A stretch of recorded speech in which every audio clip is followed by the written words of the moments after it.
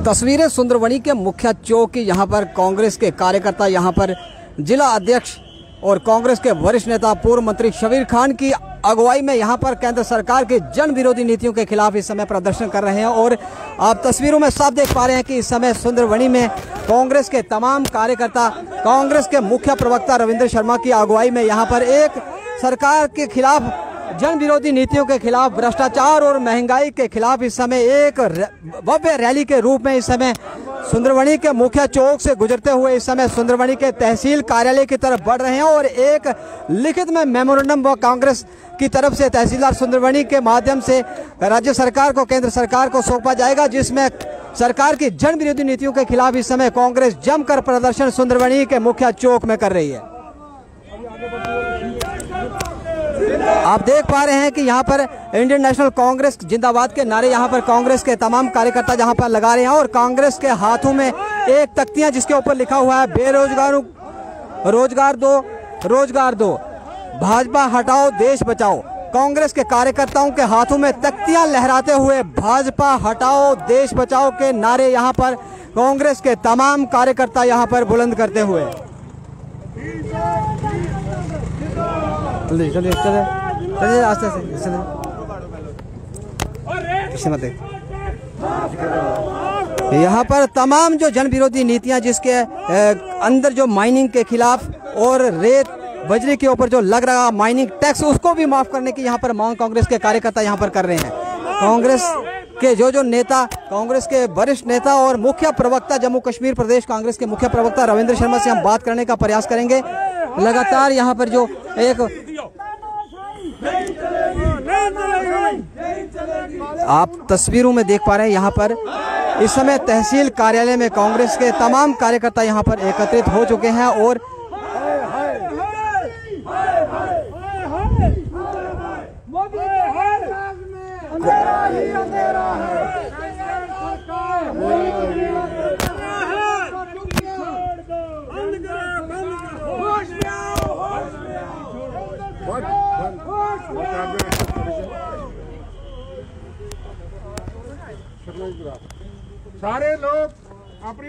अपनी से पीछे रहे। आगे ना आए मेरी दरख्वास्त है कि साथी सामने रहे और सामने से सुने जो साथी इधर खड़े वो भी सामने आ जाए।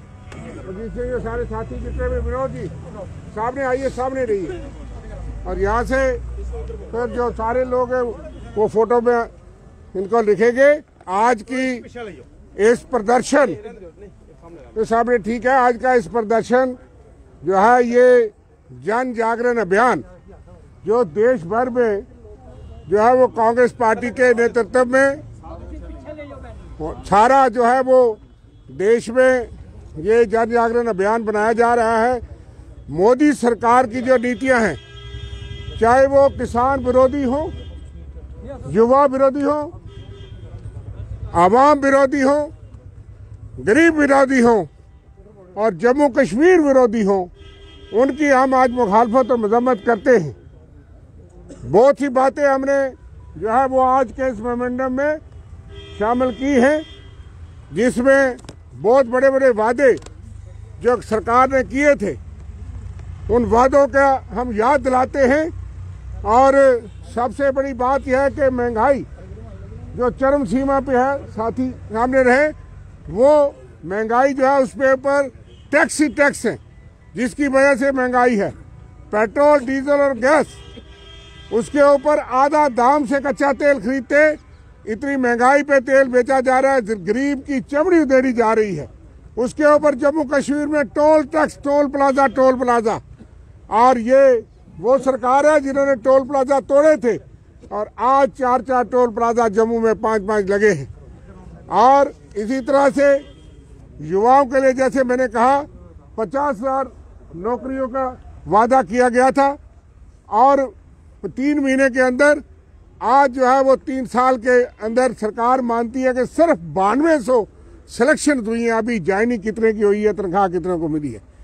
तीन साल के बाद, ढाई साल से ज़्यादा अरसा हो गया कि पचास हज़ार तीन महीने में फिर एक लाख प्राइवेट सेक्टर में नौकरियाँ कोरोना की वजह से अर्थ आर्थिक मंदी की वजह से खत्म हो गई, नोटबंदी की वजह से खत्म हो गई।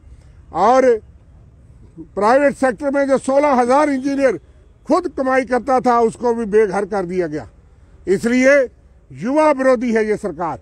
और S R O forty three R E T तमाम जो स्कूल्स हैं, उनको बंद करना, ये रोज़गार जो है, वो भी खत्म करने का प्लान है। हम ये कहते हैं कि इसको बदला जाए। इसी तरह से जो किसान हैं, यहाँ पे खाद और बीज की बहुत तंगी है। और मुझे शिकायत मिली है कि दो नंबर की घटिया किस्म की खाद जो है वो मिली है। इसकी जाँच हो और पर्याप्त मात्रा में सीड और फर्टिलाइज़र लोगों को, किसान को कम से कम दिया जाए। जो किसानों की एमएसपी का जो बाकी डिमांड है, उसका भरपूर हम समर्थन करते हैं। जो 700 किसान शहीद हुए, उनको मुआवजा भी दिया जाना चाहिए। और कोरोना के अंदर जो लोग मारे गए बगैर ऑक्सीजन बगैर गैस के बगैर सांस लिए, उनको भी सरकार कम से कम चार लाख मुआवजा दे। ये हमारी मांग है, जो इसके समर्थन करते हैं, हाथ खड़ा करिए। इसी तरह से शहरी कल्चर के लिए हमने ठंडा पानी में इंडस्ट्रियल स्टेट और आठ फैक्ट्रियों का मंजूरी कराई थी। जहाँ पे शहरी कल्चर खुपियों का बहुत बड़ा काम है। वो भी तबाह कर दिया गया, सात साल से कोई अता पता नहीं। बैरी पत्थर लिफ्ट इरीगेशन का कोई अता पता नहीं। पंद्रह करोड़ रुपये खर्च हुआ है। जो बहुत बड़ी उपलब्धि थी, मनमोहन सरकार ने दी थी हमको। और अठारह दो हज़ार अठारह दिसंबर को वो कंप्लीट होनी थी। इसी तरह से वहाँ से एक मेगा फिल्ट्रेशन प्लांट जो कि तमाम भैनी गला बाजावई डोक बुनियाड़ी और जितना भी आसपास का इलाका था एनपुर तक, उसको 18 लाख गैलन पानी मिलता। लेकिन वो भी कहीं नज़र नहीं आ रहा। इस तरह से वो भी किसानों के खिलाफ सुंदरबरी में डिग्री कॉलेज 2011 उनतीस जून को मैंने मंजूर करवाया था। और छियास बच्चे थे उस वक्त। आज 900 बच्चा है। लेकिन चार कमरों में वो चल रहा है, जिस जहाँ मैंने खोला था। उनके लिए कोई व्यवस्था नहीं। इतनी नाअहल सरकार है। कई जगह पे किराए की बिल्डिंग में कम से कम कॉलेज चलते हैं। दस साल में, आठ साल में इनसे बिल्डिंग कंप्लीट नहीं हुई। एक स्टेडियम का काम ठंडा पानी मैंने शुरू किया था और यहाँ कॉलेज और बिल्डिंग कठानू में बननी थी। दोनों का सेक्शन तिरासी कनाल ज़मीन थी। लेकिन वो स्टेडियम भी खत्म हो गया। अब गाँव गाँव में प्ले फ़ील्ड अच्छी बात है, लेकिन एक स्पोर्ट्स स्टेडियम भी यूथ के लिए बनाया जाए। हॉस्पिटल साढ़े अठारह करोड़ का हमने लाया था, कांग्रेस पार्टी और गुलाम नबी आज़ाद साहब से।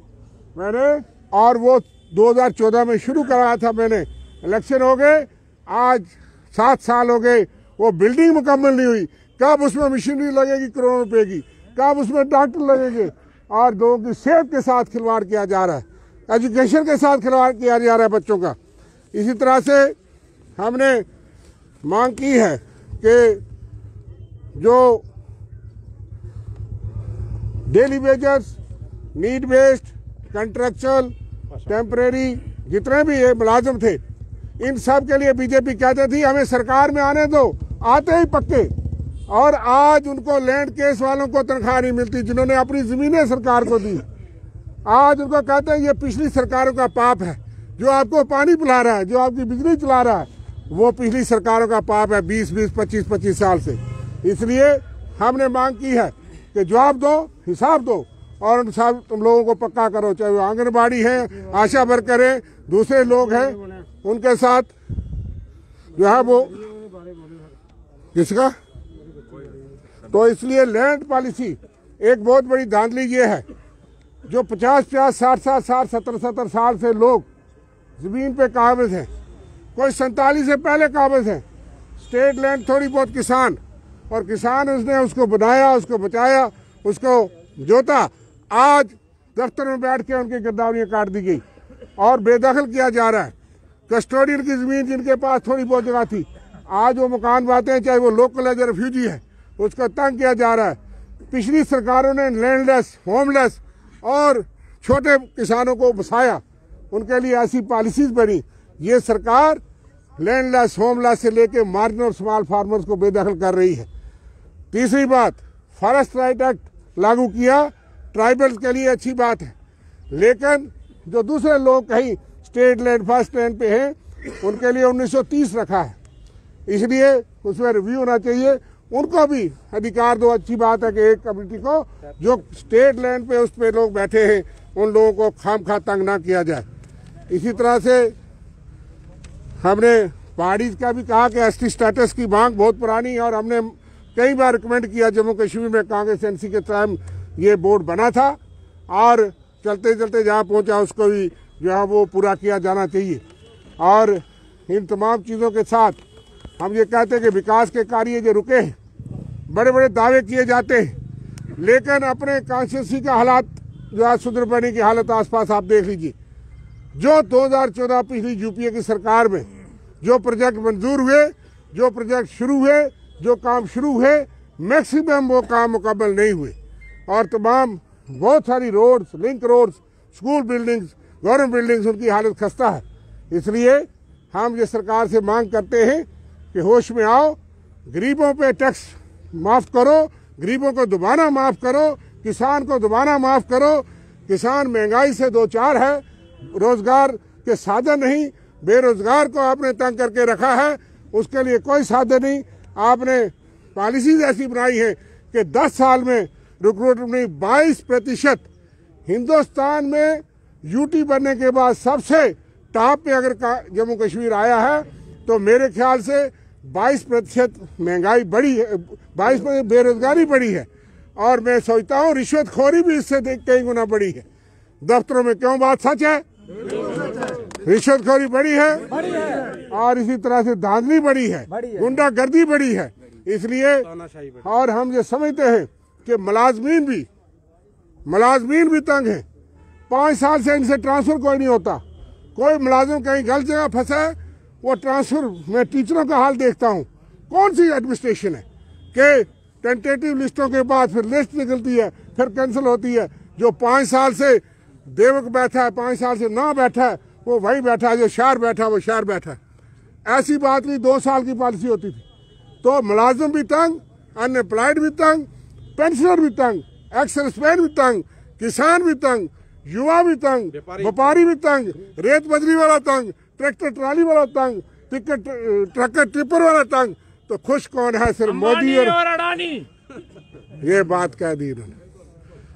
मोदी जी के दो जहाज़ सोलह हज़ार करोड़ के जो दुनिया में सिर्फ़ अमेरिका के राष्ट्रपति के पास है और दूसरे हमारे प्रधानमंत्री जो जो गरीबों के मसीहा है जो दस लाख का सूट बूट जिसको राहुल गांधी ने कहा था उन्होंने वो दो जहाज़ दिए पूरा एयर इंडिया का फ्लीट अठारह हज़ार करोड़ में बेच दिया। ये है गरीबों की सरकार। और ये है मोदी जी जिसको विरोधी सरकार। हाय हाय जिसको विरोधी सरकार। हाय हाय। गरीब विरोधी सरकार। हाय हाय। जिसको आप फकीर कहते हैं वो फकीर नहीं वो कोई और ही लकीर है। इसलिए गरीब के साथ जुल्म ज़ोर जलम की चक्की में। संघर्ष हमारा नारा है। ज़ोर जलम की चक्की में। संघर्ष हमारा नारा है। सब लोग हिंदू मुस्लिम सिख इताद को बहाल रखेंगे। इस देश की एकता का बल हिंदू मुस्लिम एकता में है। इसलिए सब साथियों को मैं कहूँगा कि ये जो इनकी शोषण वाली नीतियाँ हैं, प्रचार हैं, इनसे बच के विकास और पॉजिटिव बात करके, समाज के एकता और गठन की बात करके हमको आगे चलना है।